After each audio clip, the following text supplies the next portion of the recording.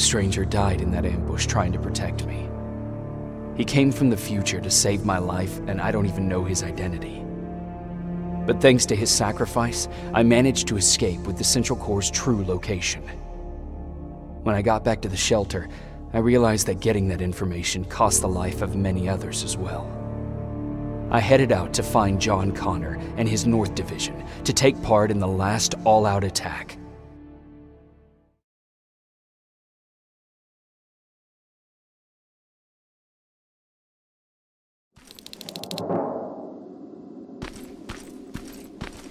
Anyone receiving me? This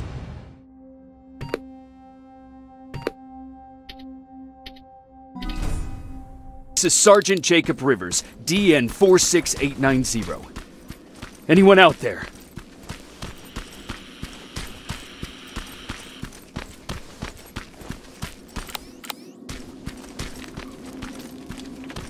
Skynet got to them.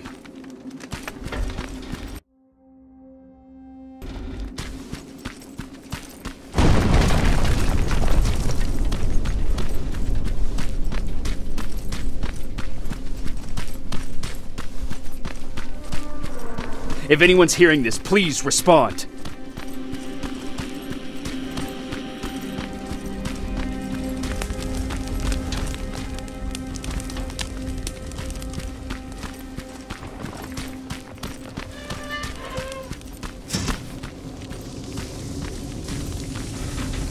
Is anyone else out there?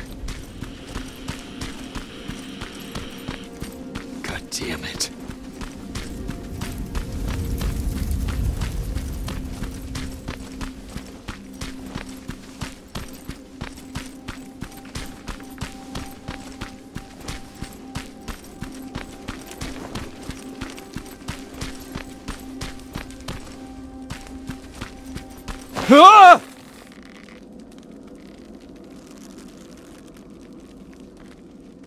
Look, we got one.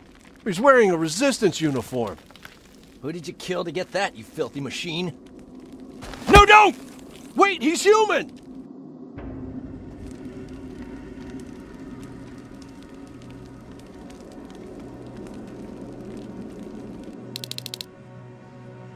Sorry about that, Sergeant. The infiltrators took some of our key positions, so we're extra cautious. If we'd known that you were joining us in the North Division, that would have never happened. You know who I am. We all do, Sergeant Rivers. John Connor told us about you. He said you'd come and bring those coordinates. How did he know I'd have them? That you'll have to ask him yourself. He's waiting for you upstairs.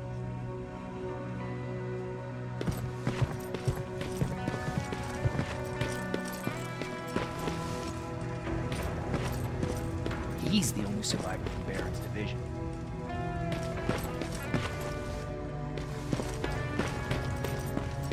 That's him. The one Connor's been talking about.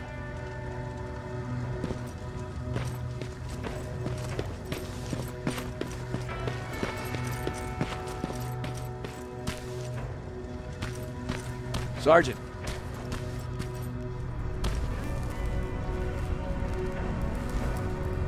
Commander, Sergeant Rivers, I've been expecting you.